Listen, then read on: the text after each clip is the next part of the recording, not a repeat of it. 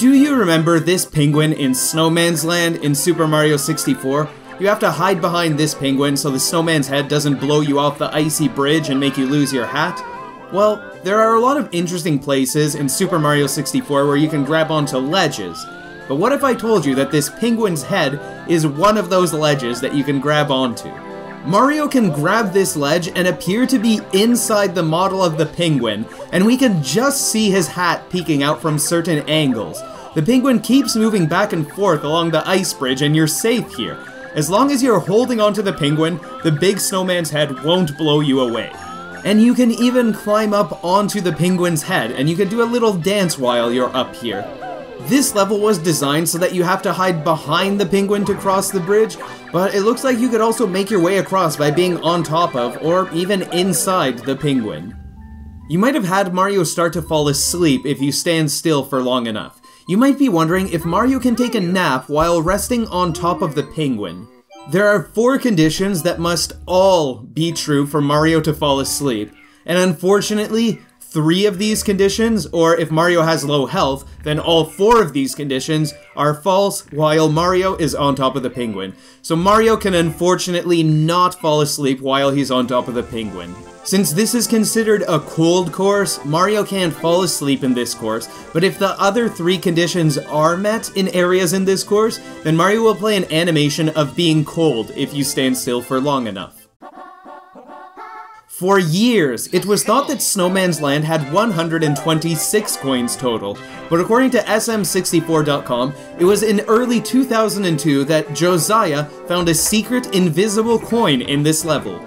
Using a cannon shot at a very precise angle is an easy way to reach this coin, and you can see that Mario's coin count increases from 0 to 1 once you reach this invisible coin. A fun fact about this invisible coin is that the Collect All Coins speedrun category of Super Mario 64 requires that you get this invisible coin. And speaking of speedruns, the In the Deep Freeze star is currently the fastest star ever collected in Super Mario 64 history. Even as a beginner of the game, it's very easy to collect this star in just a few seconds with some practice, using a triple jump to get up here, and then jumping and diving into the hole getting the star. The world record uses a slightly different strategy with a time of 5.3 seconds. You might have known that if you fall from a certain height onto snow, Mario gets buried in the snow before popping out, whether his legs sink into the snow or whether he falls in head first.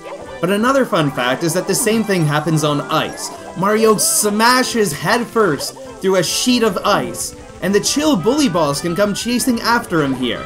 Even though this looks like it's a vulnerable position for Mario, thankfully Mario can't get pushed around while half of his body's through a sheet of ice and just his legs are dangling out.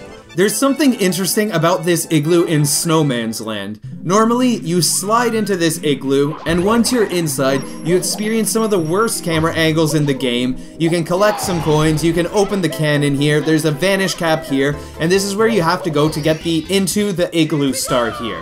What's interesting about this igloo is that normally you can only enter this igloo from the entrance, from the big hole at the front. But the collision detection for the back of the igloo is a bit wonky, and if you jump at a specific spot into the back of the igloo very precisely, you can enter the igloo without entering from the front. In some of your adventures in Snowman's Land, you might have jumped onto these enemies called Spindrifts to get either the Whirl from the Freezing Pond star or to get the Koopa shell here. You can jump on either of these spindrifts in the pond, and both can launch you into the air and let you reach the area with these boxes.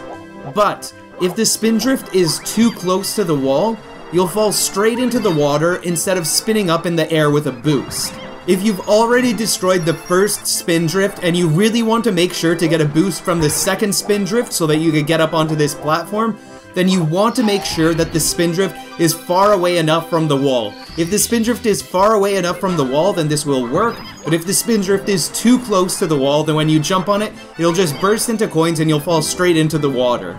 If you do accidentally destroy all of the spindrifts, there are still a few ways to climb up here. And this tip that I'm about to give you can be used to scale many slopes in Super Mario 64. So let's say you swim over around to the side where Mario normally slides down here, you hold down your A button before Mario starts to stand, and then you tap the B button while holding down the A button the entire time and not letting go of A, tapping the B button, then Mario will do jump kicks and he'll be able to climb this slope without sliding back down.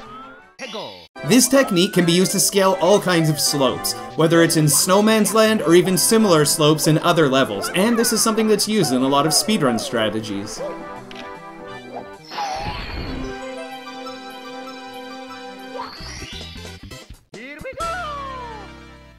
This enemy that pretends to be a coin and turns into an enemy when you get close is called a money bag, Normally, the money bag gives you 5 coins when you kill it, and there are normally only 2 of these in the course. There's one near the entrance, just in front of these 2 coins, and there's one near the pond with the spindrifts. These money bag enemies can be duplicated if Mario gets within the right distance of the money bag at the right moment after being at least a certain distance away.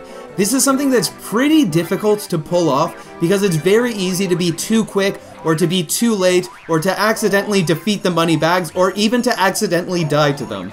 But after duplicating these money bags, they'll continue to work as normal, you can keep duplicating them, and each one of them will burst into 5 coins as you defeat them. You'll also want to be careful if you're trying to duplicate as many money bags as possible, because if you leave the course, or if you enter the igloo and then you come back, you won't have all of these money bags anymore. The Chill Bully, who is a boss in Snowman's Land, is normally defeated in a way that's similar to the boss in Lethal Lava Land. You have to kick or push it off the platform in some way, then it sinks into the freezing water below, and you get this star to spawn, and you can collect this star. But, what if instead of pushing this boss into the freezing water, you started pushing the boss down this slope? Just how far down the slope could you take this boss? You can continue to move the boss down this slope, and at a certain point, it stops taking an interest in you and tries to walk off this slope. If you keep pushing the boss down, the boss eventually sinks into the floor, which is pretty strange to see, and the star appears normally, and you can collect the star as usual.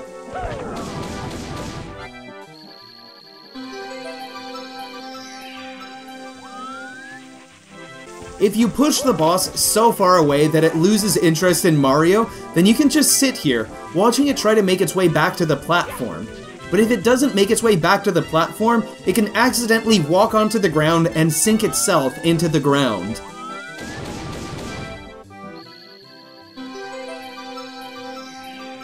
As a special bonus fact for those of you that watched to the end of this video, you might have noticed in Super Mario 64 that there are big and small bullies in the Lethal Lava Land level, but in Snowman's Land, there's a big chill bully, but there aren't any small chill bullies. Mario Wiki says that a smaller version of the Chill Bully was actually included in the code of Super Mario 64, but not included in the game. If there's another course of Super Mario 64 that you'd like to see a video like this about, let me know in a comment and make sure that you're subscribed so that you can see that video. Thank you for watching this video, hope that you all have a great day, wishing all of you all the best, and take care everybody.